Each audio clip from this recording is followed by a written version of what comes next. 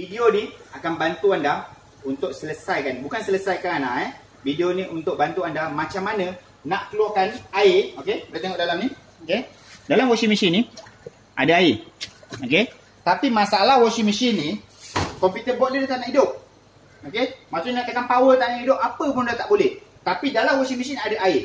Macam mana kita nak keluarkan air dalam washing machine ni, okey? Dengan cara manual. So maksudnya anda tak perlu yang ambil gayung, timba, ambil kain, serap perah, serap perah macam tu semua lambat, leceh. So saya kongsikan satu video yang paling senang anda keluarkan air dalam washing machine ni dengan menggunakan satu batang screwdriver saja. So macam mana? Okey, saya tunjukkan. Okey, dekat belakang ni, okey kita kena buka dulu cover ni. Okey, buka cover ni. Lepas tu ambil screwdriver ni, masukkan dekat bahagian belakang ni. Dekat dengan remote dia ni. Okey, masukkan. Okey, Nampak kat situ eh? Rem motor dekat dengan gearbox, dekat dengan selector ni. Okey, ini tempat angle air dia. Okey, ruang ni agak sempit jadinya susah saya nak buat video ni tapi saya rasa saya dapat membantulah. Okey, masukkan macam ni. Lepas tu turunkan. Kita tarik screwdriver ni belakang.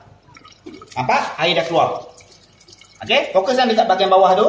Okey, saya harap video ni dapat membantulah. Kita tarik sahaja macam ni. Bermaksud, okey, bermaksud buka saya pula. Okey kita dalam tandas buat video ni. Okey, bermaksud sepatutnya drain motor tu akan tarik macam tu untuk buangkan air. Tapi disebabkan komputer board tak hantar power sebab komputer board rosak. So sekarang ni kita masukkan screwdriver tu dekat drain motor, kita tolak tu supaya drain motor tu tarik secara manual. So kita tarik untuk kita buangkan air ni secara manual. Okey? So proses ni tunggu sampai air di dalam ni habis, barulah anda boleh buat lain-lain proses. So saya harap video ni membantu macam mana kita nak buangkan air dalam washing machine kalau washing machine kita dah rosak ataupun anda jumpa tiba-tiba washing machine rosak dalam tu ada air. Macam mana nak buang? Inilah teknik dia, inilah cara dia.